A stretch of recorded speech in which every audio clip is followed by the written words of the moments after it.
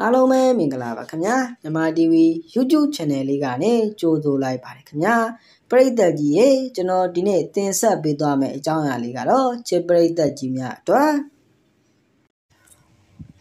လူတကာမိပြက်နေတဲ့အချိန်မှာ24နာရီမိလာတဲ့နေရာမှာနေခွင့်ရတာကြောင့်တတရရကြောင်းပြောလာတယ်ရီပွင့်ပြရဲ့အကြောင်းလေးကိုပရိသတ်ကြီးများအတွက်တင်ဆက်ပေးသွားမှာပဲဖြစ်ပါတယ်ခင်ဗျာ ပရိသတ်ကြီးတို့ရဲ့တရုတ်ဆောင်ရီပွင့်ပြကတော့တစ်ချိန်ကရုပ်ရှင်နဲ့ဗီဒီယိုဇာတ်ကားတွေများစွာမှာပါဝင်တရုတ်ဆောင်ရင်အောင်မြင်မှုရရှိခဲ့သူပဲဖြစ်ပါတယ်အနုပညာလောကမှာအထိုက်လျောက်အောင်မြင်ခဲ့သလိုပရိသတ်တွေရဲ့အားပေးမှုကလည်းရရှိခဲ့တဲ့ရီပွင့်ပြကပြီးခဲ့တဲ့ကိုနေကျော်ကလေးက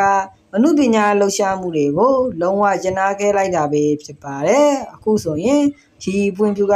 သူမရဲ့ချစ်သူမောင်းနဲ့လက်ထပ်ခဲ့ပြီး အိမ်တော်နဲ့တယောက်ဖြစ်လို့နေပြီပဲဖြစ်ပါတယ်ဒီကနေ့မှာတော့ရီပွင့်ပြူဟာနိုင်ငံရဲ့နေရာတည်တည်မှာပြီးပြတ်နေပေမဲ့သူမတို့အိမ်မှာတော့24နာရီမိလာတဲ့အကြောင်းနဲ့ပတ်သက်ပြီးပြောပြလာခဲ့တာပေါ့ခင်ဗျာ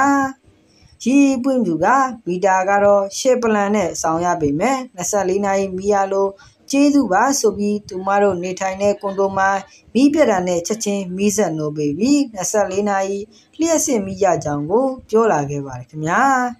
ရီပွင့်ဖြူကတော့သူမတို့နေမှာ24နာရီလုံးလျှက်စစ်မိလာတယ်ဆိုပေမဲ့မီတာကအနေနဲ့တော့လာစဉ်လာတိုင်းကိုနေနေအောင်စောင်းရတယ်လို့ပြောပြလာခဲ့တာပေါ့ခင်ဗျာတနိုင်ငံလုံးပြီးပြတဲ့တန်ကိုခံရပေမဲ့ပတ်စံတက်နိုင်သူတွေအတွက်တော့ခံတာတယ်လို့ဆိုနိုင်ပါတယ်ခင်ဗျာ